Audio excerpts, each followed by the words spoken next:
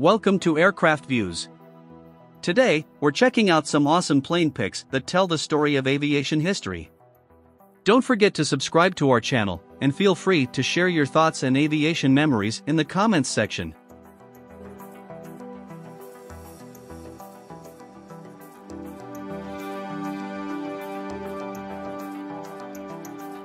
In 1943, a photo was taken of an SNJ Texan, an F-4F Wildcat, and a TBF-1 Avenger parked on the flight deck of the training aircraft carrier USS Wolverine in Lake Michigan, USA.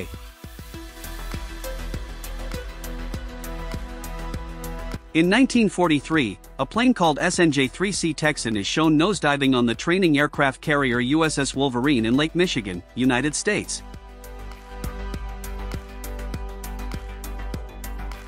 In 1943, a plane called SNJ-3C Texan is seen tipping over right before it reaches the end of the flight deck on the training aircraft carrier USS Wolverine in Lake Michigan, United States.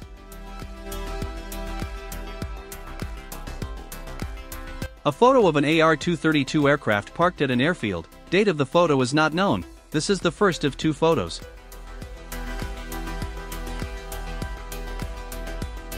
A photo of an AR-232 plane parked at an airfield.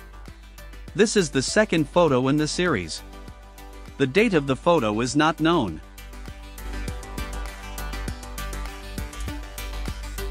In the 1940s, crew members are seen loading a huge 1,600 pounds bomb onto a Barracuda plane on the HMS Formidable.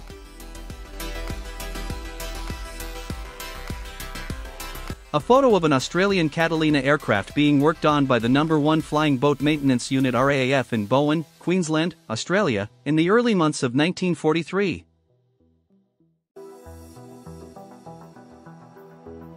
Photo of a B-17 Flying Fortress bomber.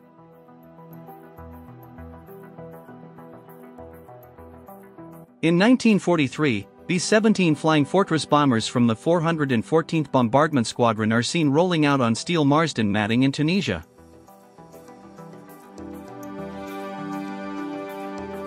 Photo of a B-17E bomber.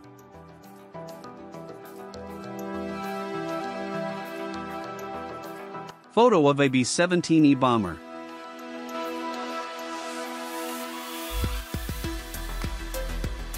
Photo of a B-17E bomber.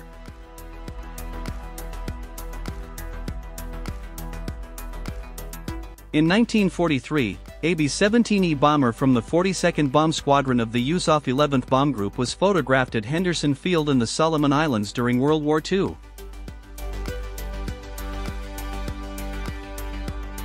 A photo of a B-17E bomber from the U.S. 43rd Bombardment Group stationed at Jackson Field in Port Moresby, New Guinea, taken between 1942 and 1943.